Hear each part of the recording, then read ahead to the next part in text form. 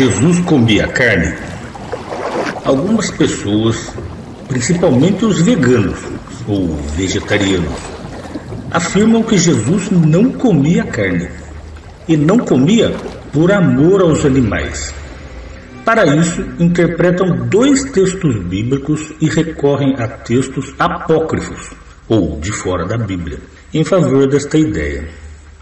Os textos bíblicos interpretados pelos veganos são Isaías 66:3, que diz o seguinte: O que imola um boi é como o que tira a vida de um homem, e que para eles é como se fosse uma ordem para não matar animais. E Isaías 1:15, mas que eles transcrevem erradamente no texto como 1:16. Esse texto diz: Há sangue em vossas mãos. Para ele, esse sangue é o sangue dos animais.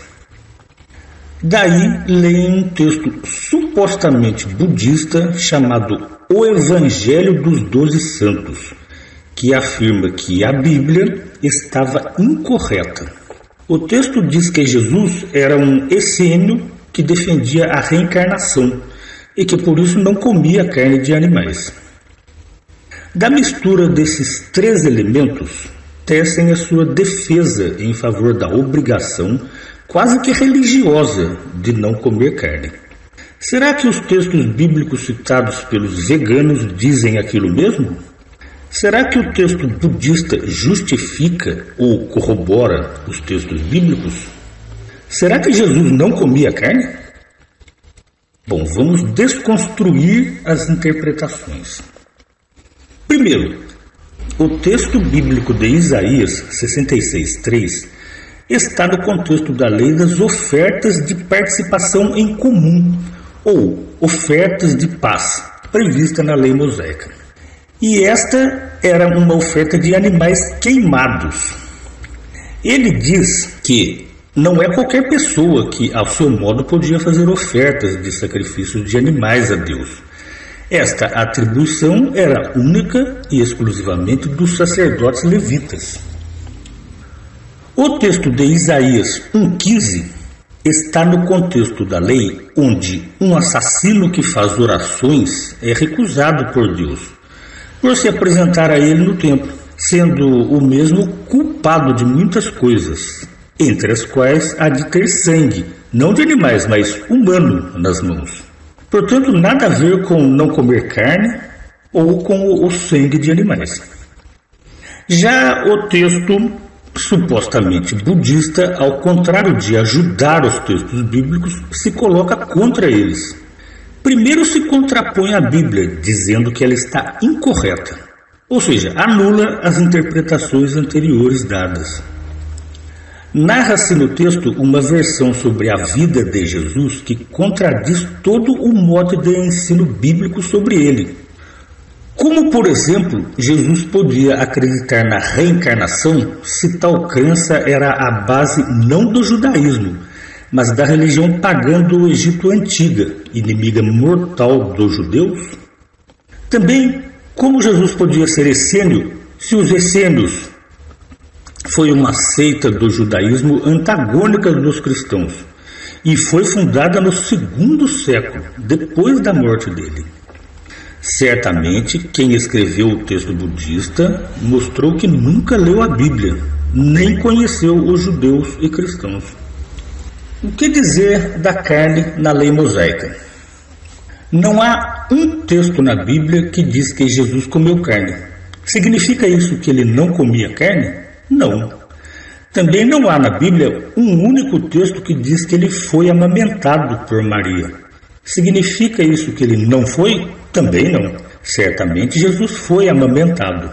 Jesus foi criado como qualquer outro judeu desde seu nascimento, por uma família judia que estava sujeita à lei mosaica. E o que diz a lei mosaica sobre comer carne? Bem, muito antes da lei ser dada a Moisés, o próprio Deus introduziu na alimentação do homem a carne dos animais. Lemos em Gênesis 9:3 o que Deus diz a Noé. Todo animal que se move e que está vivo pode servir-lhes de alimento. Assim como dei a vocês a vegetação verde, eu lhes dou todos eles. Se comer carne fosse errado, Deus certamente não a teria dado a nós como alimento, correto? Será que quando a lei foi dada aos judeus isso mudou? Não. Deus, sendo perfeito, nunca muda. Na lei, o uso da carne como alimento, já como parte da alimentação regulamentar, foi regularizada no que toca aos sacrifícios, que deveriam ser comidos, pois apontavam para a aceitação do vindouro sacrifício do Messias, que era o Cordeiro perfeito. E quanto ao uso de sangue, eles não podiam comer carne com sangue. Por exemplo, Lemos em Êxodo 23, 18 o seguinte: Não ofereça o sangue do meu sacrifício junto com algo que tenha fermento, e os sacrifícios de gordura oferecidos em minhas festividades não devem ser guardados da noite para o dia.